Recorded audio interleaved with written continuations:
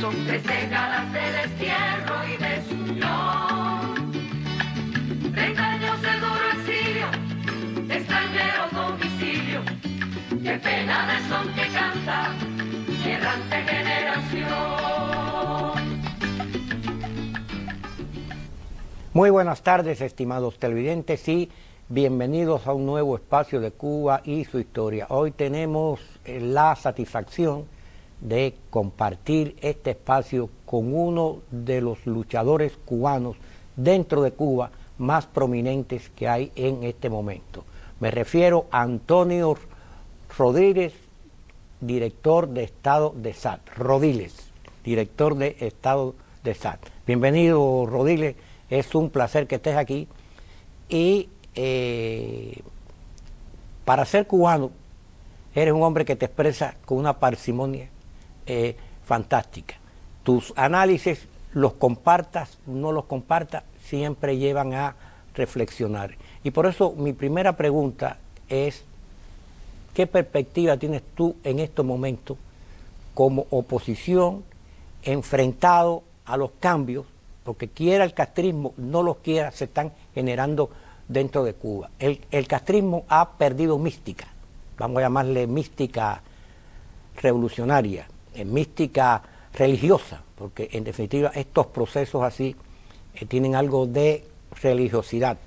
Como decía la filósofa Simone Weil, el marxismo es una religión inferior. Eh, ¿Cómo tú ves esa perspectiva en estos momentos? Bueno, primero que todo, Albertini, gracias por invitarme a tu programa. Para mí es un placer eh, compartir contigo. Y mm, yo te, te, voy a responder la pregunta, eh, quizás te sorprenda.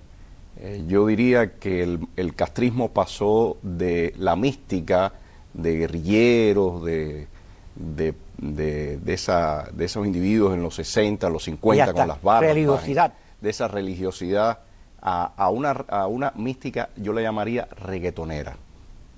¿Y por qué te digo eso? Si tú ves ahora mismo el, la, el, la proyección de los supuestos líderes de la revolución cubana, de la seguridad del Estado, de los agentes del Ministerio del Interior, muchos de ellos a mí me gusta catalogarlo como reggaetoneros tardíos. O sea, son individuos quienes reprimen, son individuos, eh, hay veces con los dientes de oro, tatuajes, una proyección que realmente dista mucho de lo que ellos querían eh, mostrar de lo que sería el supuesto hombre nuevo. Y en cierta medida, ellos tuvieron esa mística por los años 60. Sí, la tuvieron, sin duda la tuvieron. Hubo muchos de aquellos represores que cometieron grandes asesinatos, sin embargo estaban convencidos que estaban labrando un futuro. Estos individuos ahora en Cuba no se proyectan así. En Cuba existe todo una, un oportunismo que tiene que ver con la sobrevivencia y, y simplemente van detrás de tener algunas eh, eh, prerrogativas distintas a las que tienen eh, a las que tiene el pueblo, algún, algunos beneficios, eh, quizás tener una motocicleta, un teléfono celular, una casa en la playa y, y eso evidentemente se muestra en, en, la proyección de ellos. Y eso no los hace débil frente no, a ustedes. Totalmente, totalmente. Por ejemplo, cuando tú has estado prisionero, que te han sometido a, a, días de interrogatorio, de maltrato, cuando, cuando te enfrentas con un represor de esto, ¿qué tú ves en él? ¿Cómo reacciona frente a ti? Yo veo puro oportunismo, como te decía. No son personas que estén eh, para nada convencidas. Pero están conscientes de que están haciendo mal. Sí están conscientes. Sí están conscientes, pero eh, han asumido que eso es una forma de vida. Y eso es, es muy, eh, es muy perceptible cuando uno conversa con estos individuos, cuando eh, en la confrontación con ellos es muy perceptible de que ellos están haciendo las cosas por pura conveniencia y oportunismo. Y eso, como tú bien decías, le da una debilidad al régimen porque en los momentos en que el país y la situación interna se está eh, haciendo cada vez más crítica, donde el cubano eh, ya ha ido rompiendo esa tremenda barrera del miedo que tuvo durante décadas, que no se atrevía a decir nada, que en la casa estaba aquella frase que decían las paredes tienen oídos, to todas estas cosas. En este momento es evidente que el pueblo está rompiendo todo esto y, en los espacios públicos, en un autobús, en, un, en un, automóvil, en un taxi colectivo, eh, en cualquier espacio público uno se encuentra personas quejándose abiertamente de la realidad que se está viviendo y el desastre que existe en nuestro país. Antonio Rodiles, hay un documento que se proclamó en el exilio el 20 de mayo, sin embargo se hizo público eh, el pasado día 30 en la casa de El Preso, que estaba presente tú, estaba Nancy Pérez Crespo, otros dirigentes más. Desobediencia y rebeldía. Ustedes plantean una serie de puntos. Eh, ¿Cómo piensan ustedes instrumentar estos puntos dentro de Cuba y cuáles son los puntos más importantes que hay en este documento? Mira, el enfoque del documento, Albertini, es primero el desconocimiento del régimen. A mí me parece que 60 años después, no estamos hablando ni 10, ni, ni 15, ni 20 años, estamos hablando de 60 años, que es un periodo extremadamente largo donde han pasado muchísimas cosas en este planeta, donde eh, lo que es la democracia ha evolucionado con el ritmo que se esperaba. Sin embargo, Cuba está estancada en el tiempo, está, eh, hay un estanco donde todos los aspectos económicos, políticos, sociales, incluso han retrocedido. Es por eso que nos parece que el punto principal, el punto de inicio, es eh, el desconocimiento del régimen y a partir del desconocimiento del régimen plantear la caída de esa tiranía como el punto inicial para transitar a una democracia. Me parece que, es un error seguir hablando de, que posiblemente el régimen implemente algunas reformas o que, hay o que pueden ocurrir transformaciones y a partir de esas supuestas transformaciones entrar en un proceso de democratización. O sea que tú no estás de acuerdo con eso que en algún momento dado llamaron oposición leal. No, para nada. Yo creo que eso no existe al final. Yo creo que eso son eh, creaciones del propio régimen o que el régimen en algunos casos... Por cierto, surgió del sector católico esa sí sí sí sí esa definición, esa definición. oposición leal. Sí es, completamente contradictoria. O sea si es oposición leal a qué eh, es, es, leal a la democracia es leal al pueblo o es leal al régimen o sea ese término leal no no se solamente me recuerda al señor este Eusebio Leal que es, muy leal. Que, es muy leal, demasiado leal al régimen. Yo siempre lo llamo el narrador de la corte, me gusta nombrarlo yo. Pero te decía, yo a mí me parece que es el momento que estamos viviendo amerita de que hay una posición vertical, una posición frontal. Y, creo que los demócratas cubanos tenemos que asumir el, lenguaje en su medida, decir las cosas por su nombre sin miedo, eh, completamente de frente, porque en los últimos tiempos quizás eso que se llama ser políticamente correcto, nos limita en, poder manifestar realmente lo que sentimos. Me parece que esta dictadura, que es una dictadura atroz, es una dictadura que tiene uno, un, eh, o sea, un récord realmente eh, muy lamentable para nuestro país en todos los sentidos, debe ser eh, rechazada, deslegitimada y a partir de eso empezar a pensar qué vamos a hacer. Por eso es el punto número uno de este, de este documento. Tú me haces pensar en algo, y, en estos 60 años, el daño antropológico y transcultural que, le han hecho a Cuba ellos nunca sucedió. Nuestras guerras de independencia, iniciadas en el 1868, culminadas en el 1898, porque vamos a mm, contabilizar tanto la guerra grande como la chiquita, como la que Martí llamó justa y necesaria. No le causó a la población cubana este enorme daño, porque el español que cometió atrocidades también tenía nuestra misma cultura, nuestra misma religión y los mismos valores, tanto patrios como familiares. Pero esta gente lo alteraron todo. Es que Albertini, estos individuos no tienen valores. El único, el único objetivo de ellos es el poder, poder, poder. Y ni siquiera parte del poder. A mí me gusta siempre decir que ellos quieren todo el poder. Y eso es lo que le les crea una especie de, lógica en la que pueden arrasar con todo para lograr su objetivo. Y de ahí que, te comentaba, me parece que el punto número uno tiene que ser ese desconocimiento y el desconocimiento de cualquier tipo de maniobra, porque todo esto de que eh, supuesto hicieron un proceso de, eh, de, elecciones, que todos sabemos que es una farsa total, de que, de que ahora aparentemente hay otro individuo que no tiene el apellido Castro, que, que es el presidente, cuando todos sabemos que eso es un juego. Y Osvaldo Orticós también tuvo. Osvaldo Orticós, bueno, Rutia primero y después Osvaldo Orticós, y, sabemos incluso Orticós cómo terminó, suicidándose. Entonces, eh, esta persona, Díaz Canel. Suicidándose con la pistola que le puso Ramiro Valdés. Quién sabe quién se la puso, pero evidentemente eh, algo ocurrió y este individuo ya estaba desde hacía un tiempo echado a un lado y después que lo habían usado en, los momentos que ellos necesitaron. ¿no? Pero en el caso de Díaz Canel, ¿qué poder tiene Díaz Canel? Díaz Canel no tiene ningún poder. En Cuba el poder lo tiene una élite militar. Después yo diría que vendría el Partido Comunista y después todas estas supuestas instituciones civiles que sabemos que sencillamente son poleas de transmisión del poder de esa élite militar. Entonces, ese, ese es el punto número uno de este documento. ¿Cómo desconocer ese poder dentro de Cuba? Yo creo que el primer, el primer punto es eh, uno, uno de los... A nivel de ciudadano, ¿cómo? Uno, uno de, los, de las palabras que marca el documento, el título del documento, que es desobediencia y rebeldía. Yo creo que la desobediencia es ese primer paso para desconocer ese poder. Eh, el régimen tiene toda una cadena de, de o, o, cadenas para mantener el control y la represión. Eh, los, los, los, llamados CDR, las llamadas eh, organizaciones de masa, eh, las brigadas de respuesta rápida, o sea, todas estas eh, organizaciones que ellos tienen que simplemente son brazos represivos. Y a mí me parece que el primer paso que puede hacer cualquier ciudadano para desobedecer a este régimen, y, y a la vez eso implica desconocerlo, es no participar de esos mecanismos que tiene el régimen. El régimen hoy en Cuba se mantiene mediante la represión y el control. En Cuba ya no hay ideología, ya no hay, como decíamos al principio del programa, ningún tipo de mística eh, revolucionaria ni nada que se le parezca. Que por cierto no era propia. No, claro, todo esto son copias que ellos van eh, trayendo de otros modelos que se han implantado y que les ha funcionado, ¿no? Pero eh, en el caso actual, el, las personas que están dentro del propio sistema se mantienen simplemente por oportunismo. Y me parece que, que, ese mensaje le tiene que llegar a la, al, al, ciudadano cubano.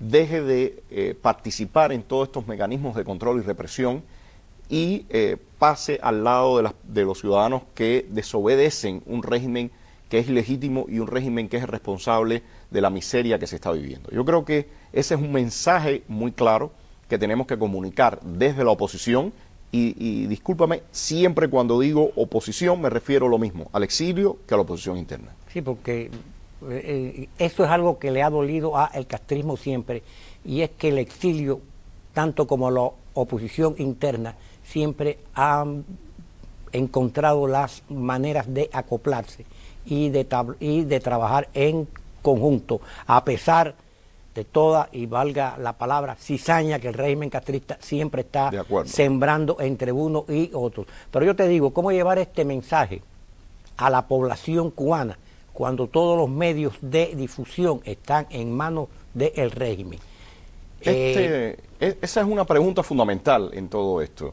Eh, ayer, el, hace unos días hablábamos eh, sobre la, la, las posibilidades que hay por parte de la oposición de llegar al, al pueblo cubano. Y realmente son muy limitadas. Y en ese sentido sí necesitamos la ayuda y por eso lo hemos estado ratificando en muchos foros y en, y, y en cualquier entrevista. Sí se necesita la ayuda de eh, gobiernos amigos, como en este caso el gobierno de los Estados Unidos.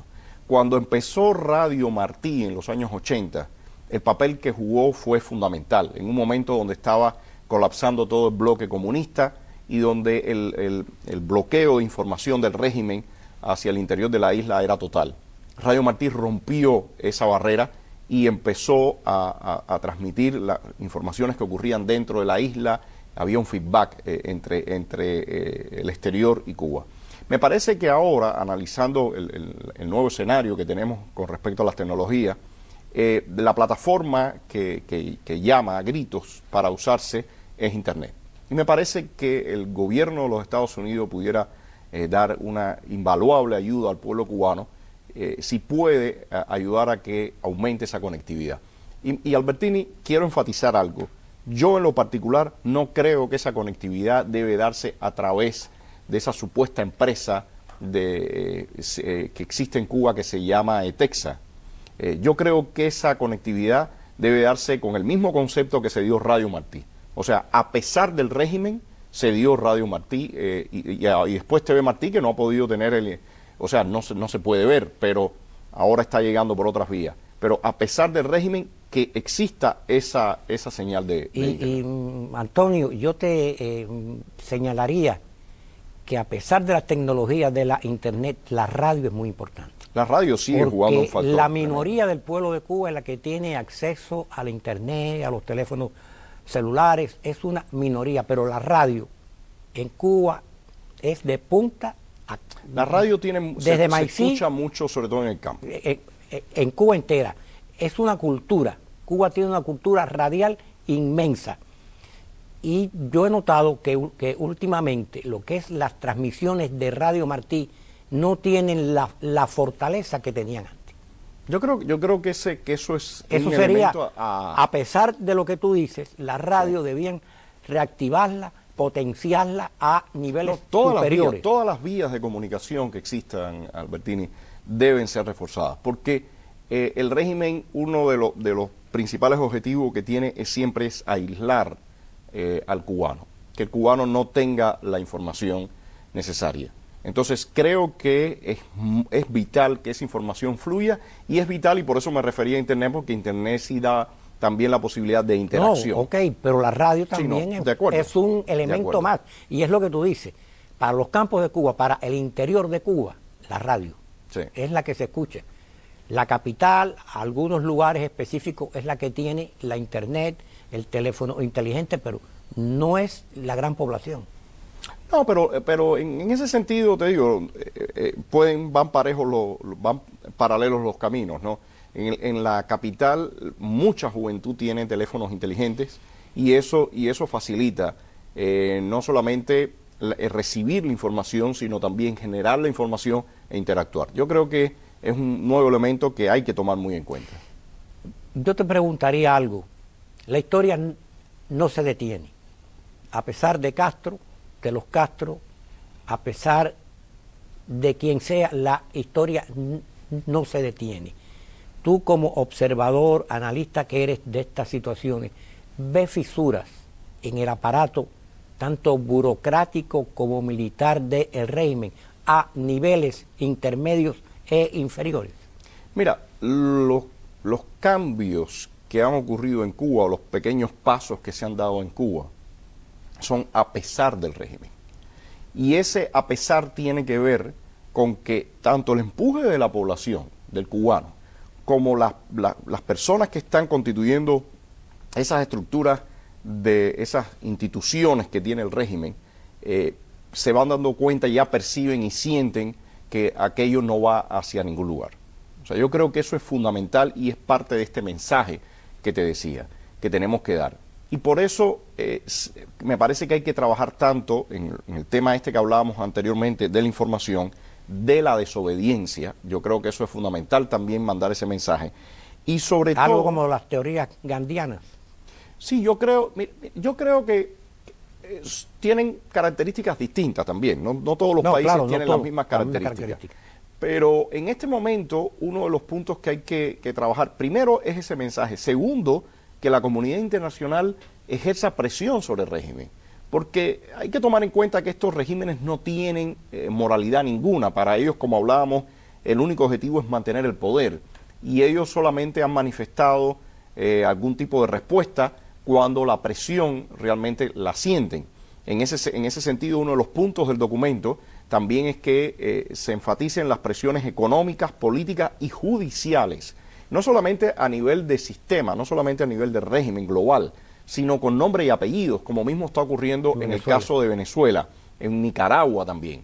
Yo creo que eh, existen más que pruebas para eh, procesar a Raúl Castro, para procesar a Ramiro Valdés, para procesar a algunos de estos personajes, eh, a sus herederos también, porque ellos están siendo parte de todo el proceso ese de corrupción ¿no? y para mantenerse en el poder. esas fortunas malavidas ese, ese que punto. han salido del trabajo del pueblo cubano. No, y, y de- y no solamente del trabajo, también han participado en, en drogas, han participado en tráfico de armas, recordemos todo el, el más reciente eh, suceso que ocurrió con el barco aquel coreano, lo- a- hace unos días el expresidente Martinelli eh, denunciaba las amenazas que, sufrió eh, por parte de Raúl Castro para tratar de contener aquel incidente.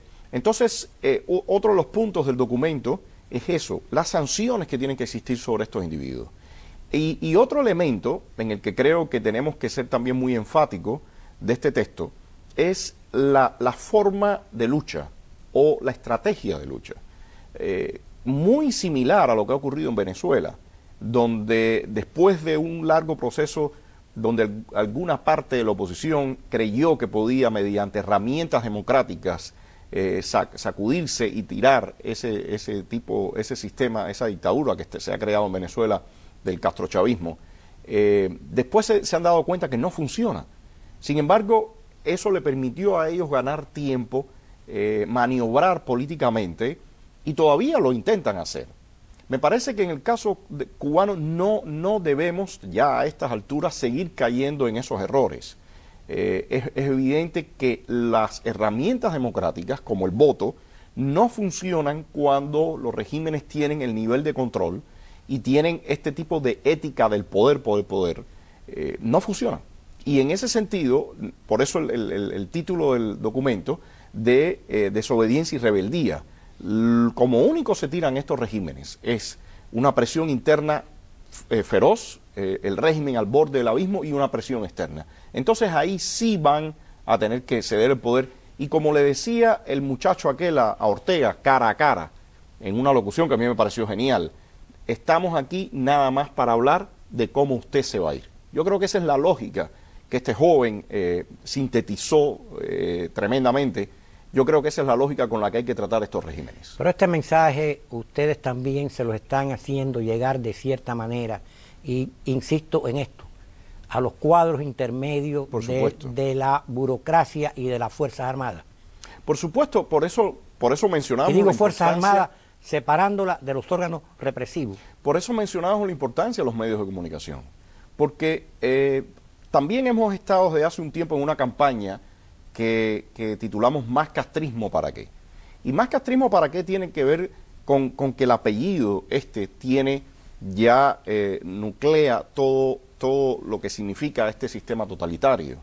Eh, en Cuba evidentemente hay personas que están en esas instituciones, pero no han estado implicados en actos de, violaciones de derechos humanos, eh, digamos, visibles, ¿no? Son parte de esa estructura pero que tienen que en un momento determinado desobedecer y desmarcarse del régimen.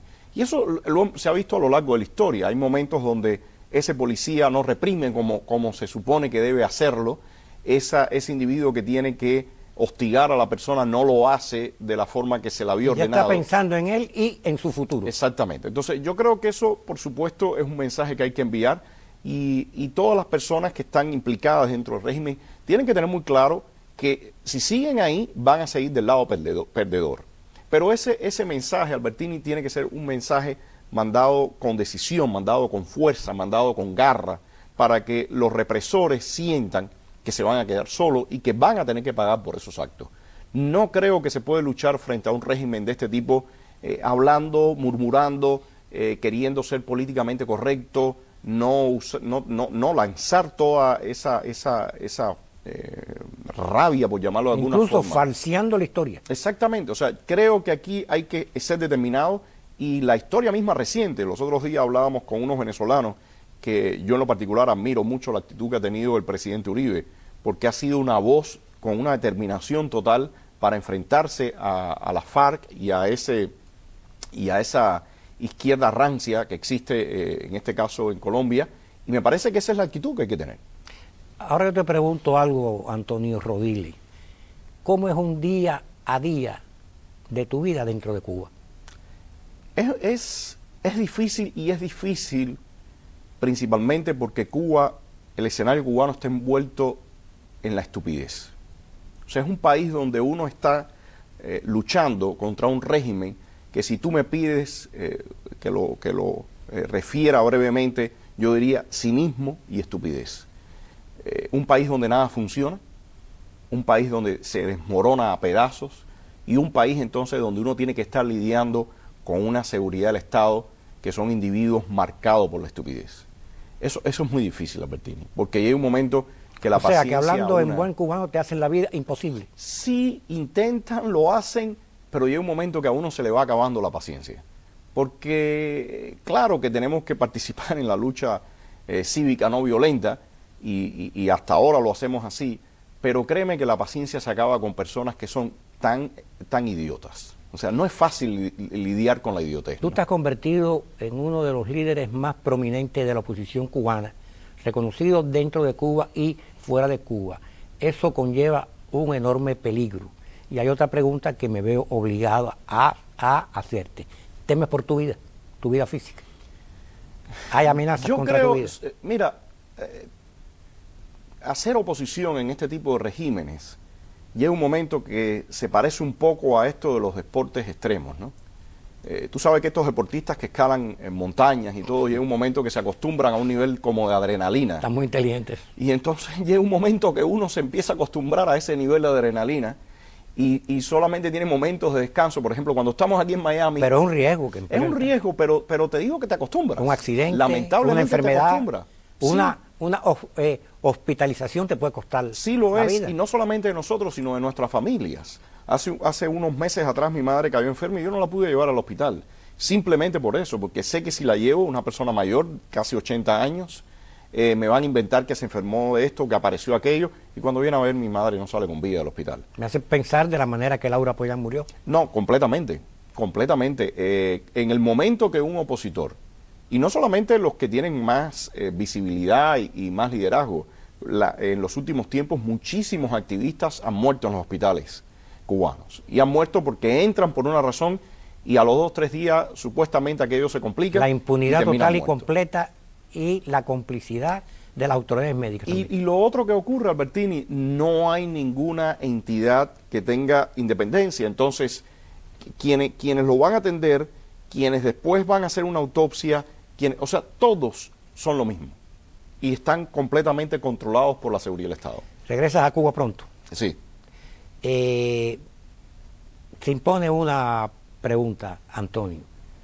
¿Eres optimista con el futuro de Cuba? Yo soy muy optimista. Yo soy muy optimista porque el régimen está cansado, el régimen está agotado, eh, quienes están ahí no tienen ninguna, ni- ningún ímpetu y, y del lado de acá sí hay unos deseos de libertad. Habrá tremendo. Herencia neocastrista. Ellos lo están intentando y lo están intentando fuerte. Y te pregunto, ¿tú crees que históricamente la habrá? No, yo creo que no. Yo creo que nosotros los vamos a derrotar. Yo creo que ellos se saben también eh, que penden de un hilo y es que por eso están actuando de la forma que están actuando, tan represiva y tan controladora en los últimos tiempos. O sea que eh, tú piensas que van a desaparecer completamente y que eh, una María La Castro, por ejemplo, no tendrá vida política en el futuro. Ellos quieren eso, pero nosotros tenemos que leer la historia, leer lo que ha pasado en los ex países comunistas de la Europa del Este y en esos países donde quedaron, estas élites quedaron eh, vivas y, bajo, y teniendo cierto control, no hubo un tránsito a la democracia. Mi querido Antonio Rodiles, se nos acaba el tiempo, es necesario otros programas más. Sí. Esperamos volvernos a ver pronto. Bueno, muchas gracias. gracias, por haber comparecido hoy aquí. Muchas gracias. Y ustedes, queridos televidentes, sin más, hasta la próxima vez. de nostalgia. Son tres décadas de destierro y desunión. Treinta años de duro exilio, extranjero domicilio. Qué pena de son que canta, errante que